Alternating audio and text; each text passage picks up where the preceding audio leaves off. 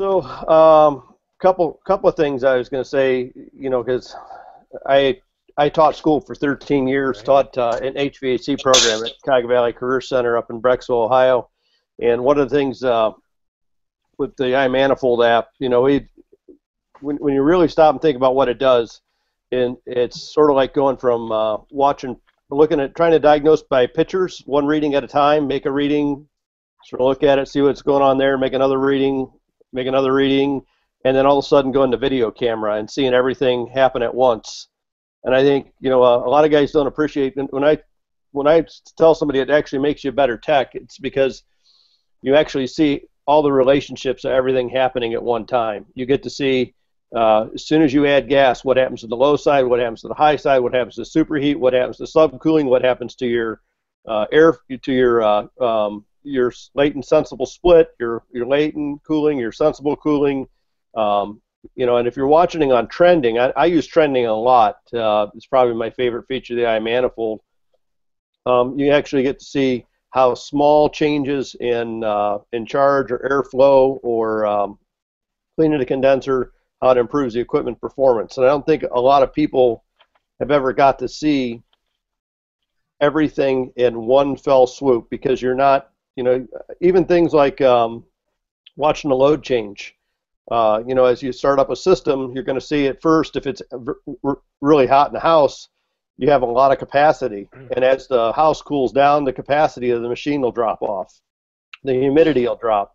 The the sensible cooling will drop. And those are things you can't. Uh, you know, you, you normally don't have an opportunity to see because you're not inside watching each variable independently. So I think, you know, and also uh, we live test everything uh, on the iManifold application. I have uh, equipment in the lab, and then I, I go on our rooftop units at work, or a lot of times I'm out in the field. Um, in wintertime, I'll fly down to Florida, and I've got 28 years of experience now, and I cannot beat my own application in troubleshooting because all the readings come in at one time, and it's diagnosing up to 50 points of data at once. No matter how good of a technician you are, you can't work faster than the computer works, at, at least to get put into the right direction. And obviously, the trick with, with accurate troubleshooting is accurate profiling, which is probably the biggest challenge for most technicians is understanding how to properly profile a system. But once you get that element of the application down, then uh, the rest of it's really easy. That's a good way to put it. It shows you the, the relationship in real time that's that's a good way to put it. Uh, and if you really start um, uh, watching what's going on, it's an excellent teaching tool. You know, I even use it offline all the time when I'm looking at uh, psychrometric calculations or what happens, especially if you just if you take a young technician and uh, you have it working on a, like a lot of times we'll use a uh, little window air conditioner and put it in the shop where the load doesn't change and we'll just talk about okay, I'm gonna I'm gonna block off the evaporator coil with this piece of paper here. What's to happen? What's to happen to the low pressure? Well, most people know. What's to happen to the high pressure? What's to happen to the superheat? What's to happen to the subcooling? And when you're on a fixed orifice system, and all of a sudden you start to see not only does the suction pressure drop, but the evaporator starts to flood, the condenser starts to starve, the suction pressure drops because we're we're not absorbing heat, which drops the high pressure because we're not absorbing heat, and the amp draw starts to drop off, you start to see the, how the how each part of the system affects the entire system, and, that, and that's where uh, we get fixated as technicians a lot of times when you're troubleshooting. You uh, and right now the entire industry is fixated on superheat and subcooling, which are part of the equation, but they aren't the entire equation by any means. In fact, the, the pressures, the only reason we measure pressure is to get temperature, which most people don't think about. But that temperature of the coils is the driver for the heat transfer. And so obviously the evaporator is colder than the return air, which drives the rate of heat transfer based on the time, the temperature difference, and the turbulence. Condenser is hotter than the outdoor air, which drives the rate of heat transfer out of it. So those two temperatures are probably the most critical things as far as the rate of heat transfer in a system, and we neglect them all the time as an industry as a whole. And if you had grown up in refrigeration, uh, I don't know if any of you guys do refrigeration, but almost everybody in refrigeration they're fixated on saturation temperatures. they almost never really look at pressures. They don't even think in pressures. It's a whole different mindset. And uh, the air conditioning industry never caught on to that for some reason, probably because it was really uh, started by plumbers. You know, that's that went into we had obviously heating, steam heating, hot water heating. Uh, then we got into forced air heating and then cooling, and it was really the plumbing industry that started the, the cooling industry. So they didn't quite have all the experience the refrigeration mechanics had of the day. So, but anybody got any questions? Yeah, when you say uh, the you look at the pressures more than the temps, what exactly expand expand expound on that a little bit for us? So every coil is engineered with a what's called the, a design temperature difference. So you see in the application DTD. Right. I'm, and sometimes you hear CTOA, which is condensing temperature over ambient.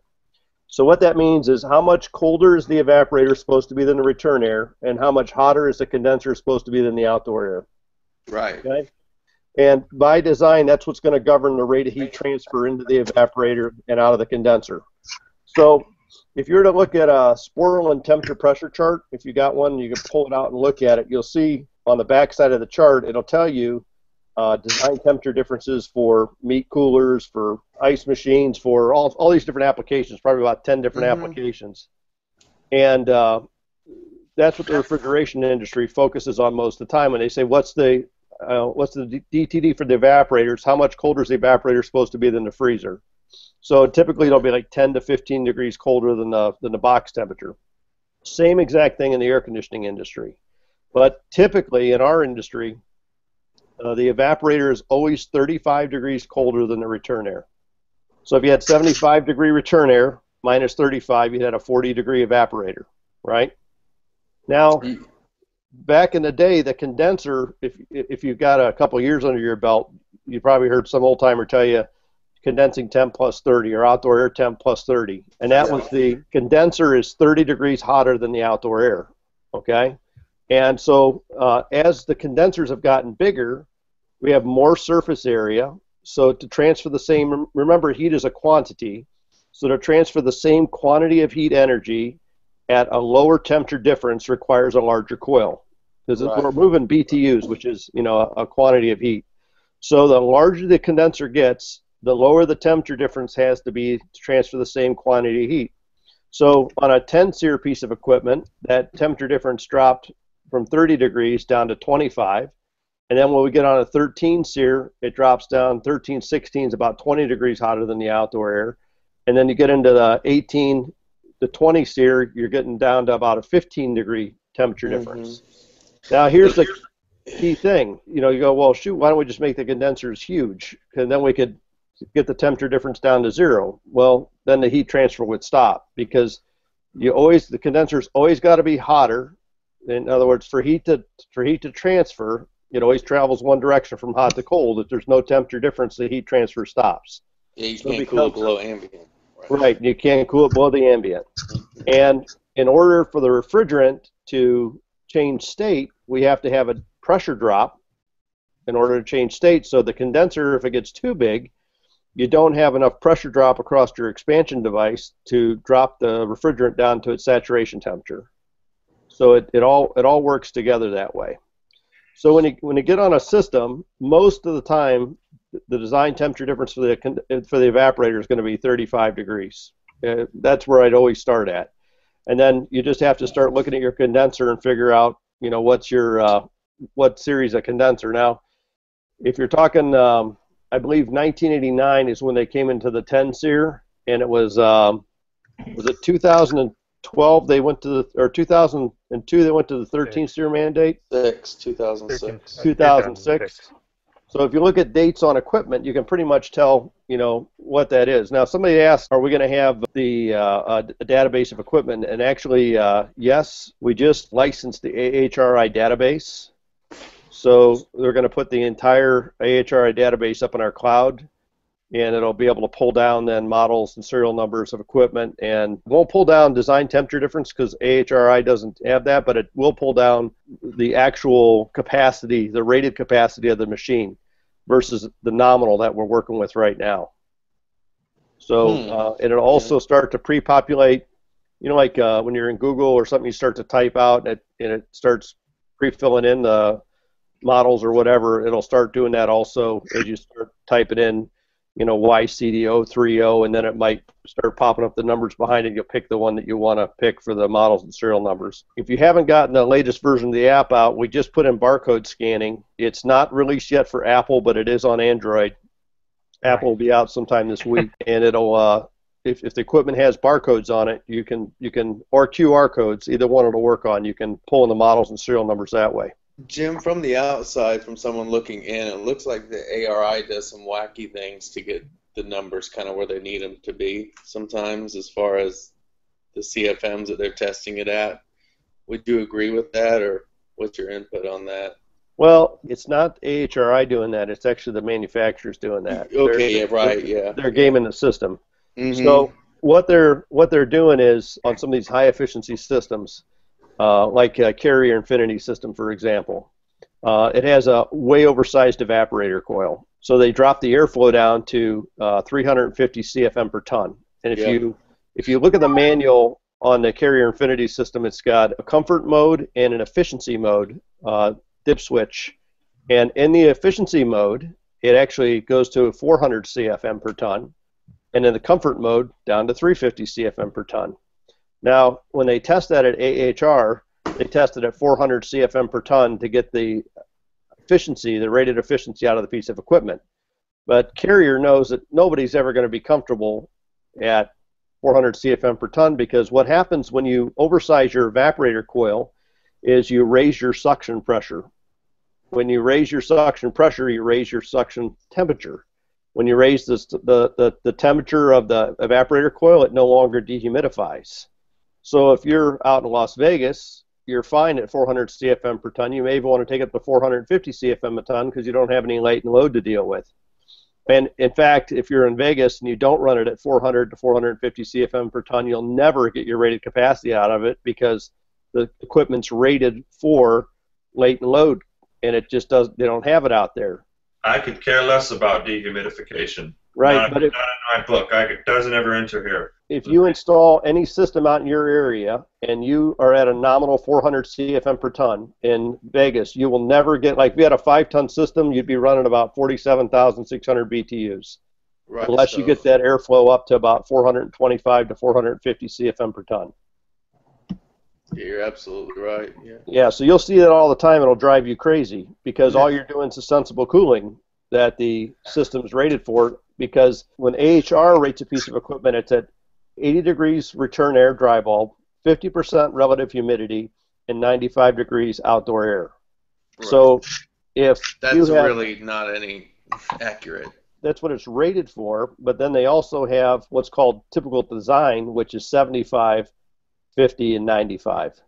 So anytime you drop the return air dry bulb, so if you go from 80 degrees down to 75 degrees, you're you're automatically going to start losing capacity off the machine because it's rated for that higher return air dry bulb temperature.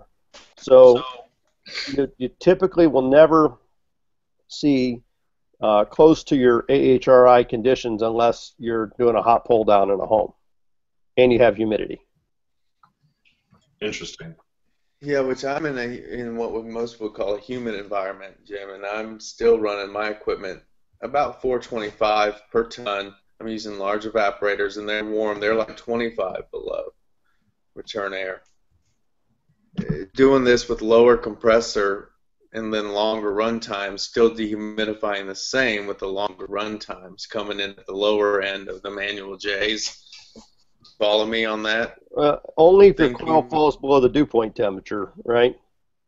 Because uh, the coldest you can get the house, the coldest you can get the, the furthest you can get the dew point down to is the temperature of the evaporator coil. So, but yeah, I I know what you're talking about. The longer run times will, will help, but it's not gonna, it's still not gonna get as dry as if you were able to drop the coil temperature down further.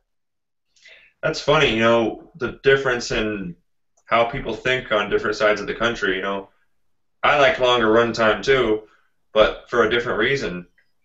Here, you could have a perfectly well-designed duct system fine in the winter, but come summer, it's 115, 118 degrees outside. When that unit shuts off, one room's hot. It don't matter how the ductwork's set up. the heat's coming in so fast from the side the sun's on, those people are hot in their bedroom unless the air is actually moving. It's just the, the differences get so high. So, you know, we go, we're all about runtime, but just simply so we can even out the temperatures from room to room from that from that difference in heat load. You know, having the ductwork in the attic sure doesn't help. Yeah, it's up there in the heat. That's for sure. Uh, heck, it's 150 in our attics, literally. I've, I've, I've well, that might be, it might be 140. Without that's not exaggeration. It's 140 degrees up there sometimes.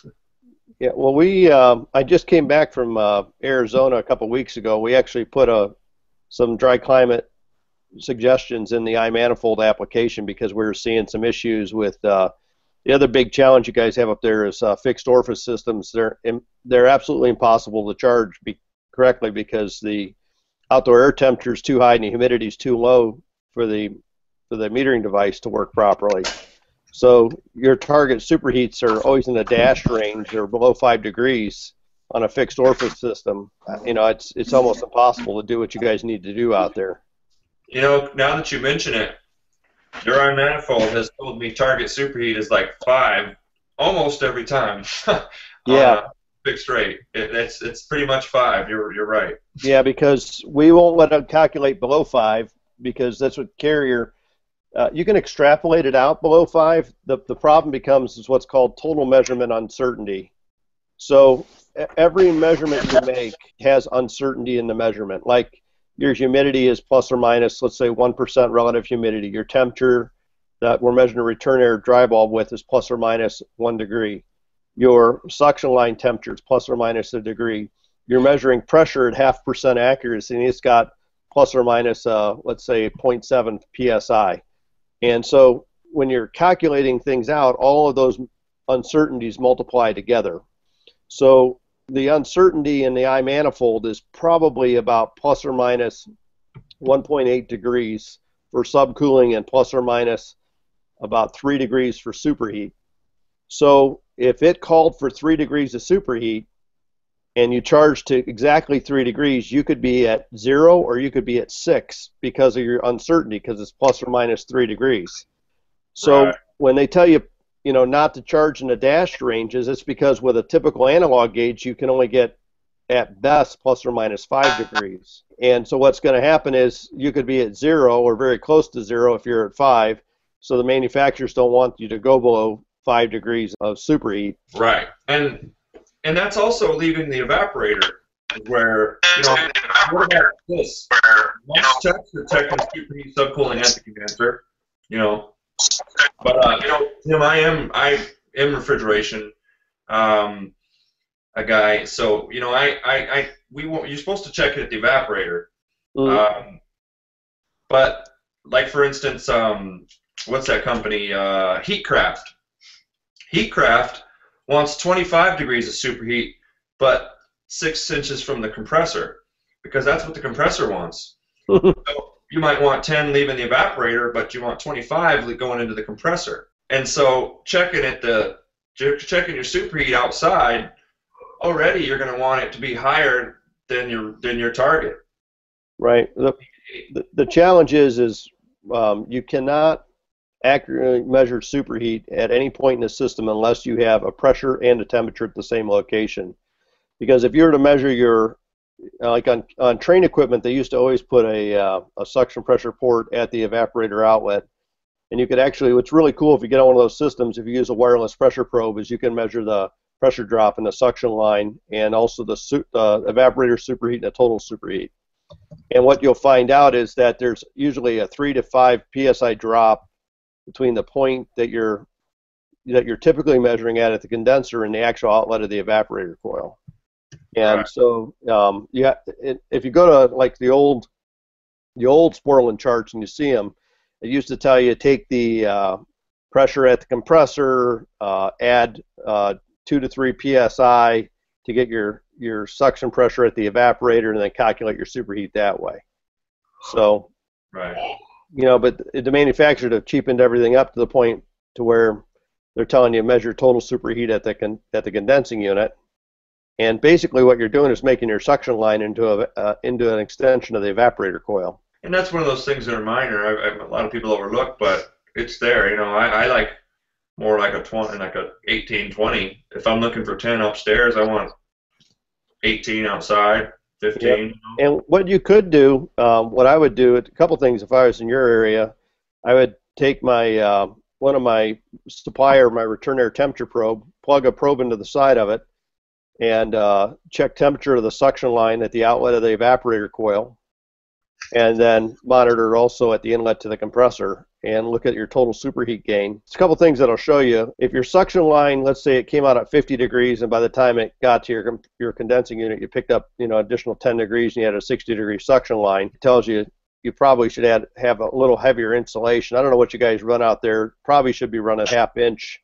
suction line insulation so you don't have a lot of additional superheat gain. Then that's one thing you can do, and then you could you could get your superheat closer to uh, you know map your suction line temperature over and get your get it closer to uh, you know five degrees superheat at the outlet of the evaporator, and and, and then not make your because you, here's the other thing that you, you got to remember.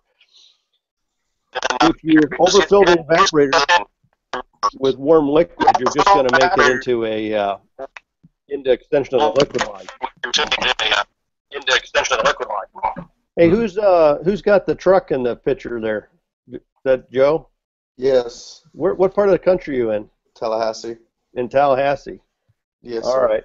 When you're doing your manual J's, you're actually running a what, what kind of systems you run there? running 25 degree? I, I have never seen anything running a evaporator coil at 25 degrees colder than the return air. Who's who's making that system?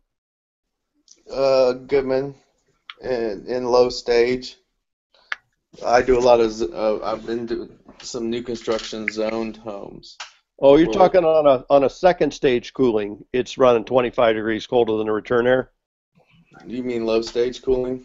Yeah, first stage, right? What I was getting at is, yeah.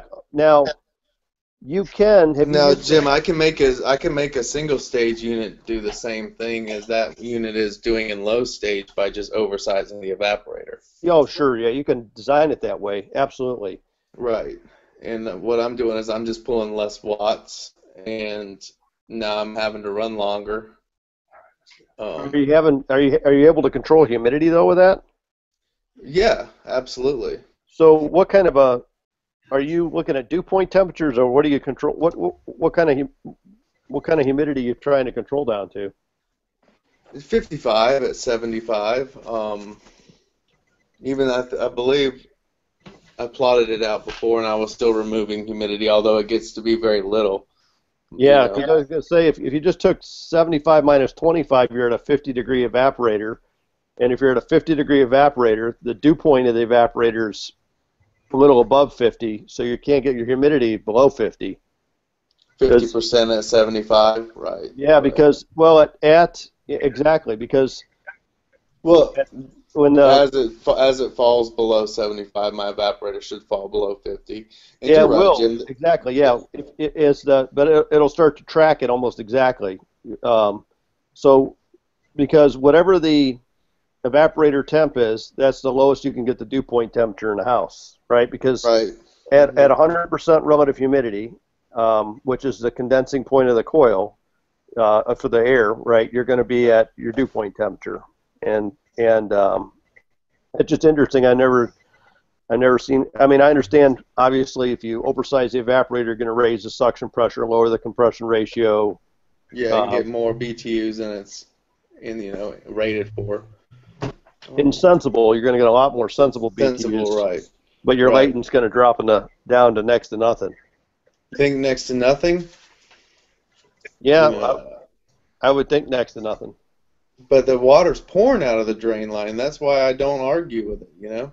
Yeah, well, it's you got more surface area, but it might pour Yeah. out initially because your humidity's high. But I'm I'm thinking about once it's down to once the load's under control and you're talking it's you know uh, 75 in the house and it's creeping up to 76 and what what are your customers setting their thermostats at most of the time? Some of them really like it cold at night, and they'll actually put it below 70, 68, and then they'll keep it 72 during the day. I can. I haven't had a problem meeting sensible demand. No, no, and, and you wouldn't have a problem with sensible demand, but I'm wondering if that's why they're dropping the temperatures down lower. It's because they can't get the uh, the humidity's too too high otherwise. Well, see, I have a feeling, Jim, that if we measured the amount, if we just measured the water coming out of the drain lines between two homes, one that was oversized compared to my home running a colder evaporator, but cycling more because it's meeting the demand quicker, hmm and then measured the water coming out of a unit that's running longer, but it is, of course, a warmer evaporator, but it's running near constantly. How is it running near constantly without satisfying the sensible uh, demand faster? Because if you got more sensible cooling, that's what's going to satisfy the thermostat. So are you undersizing the system and oversizing the evap? Is that what you're telling me? I'm not saying I undersize it, but I'm saying when it is 95, which is our design day, hmm you would probably have to run near constant to do 72. You have to play around with that a little bit. But I do have one question I'd love to get your insight on. I've found water collecting on the blower housing, and I've been trying to figure out is the air coming off as like a vapor of the almost like a fog? It's at 100% saturation. Well, it, And then how could it recondense on the blower housing? well, you're uh, talking a draw-through type evaporator, right? Yeah, air handler. Yep. So the only thing that'll do that is if your airflow is excessive and it's pulling the water off the evaporator coil. Okay. because the the air will always be at 100% relative humidity when it comes off an evaporator coil or close to it, minus the bypass factor of the coil. All right. Yeah, because right, what I had seen was like 0.8 or 80 percent, something like that. Yeah. So if it's 80% relative humidity, it's not raining in there, right? But it is condensing on the evaporator coil. But the but there's some air It's called there's a bypass factor of a coil.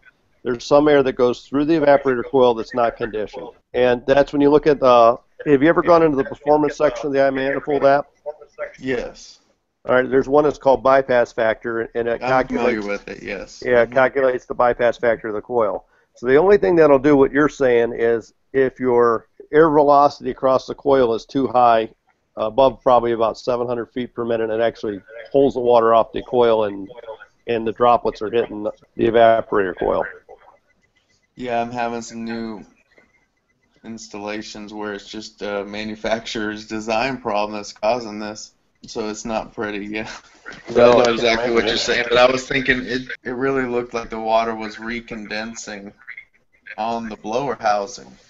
It was just odd because Yeah, in, in order for that to happen, the housing would have to drop below the dew point temperature of the air. what I was thinking, Jim, is on its off cycles. Don't you think that coil kind of warms up from the liquid migrating to it? Uh, then it kind of reevaps the moisture on the big coil.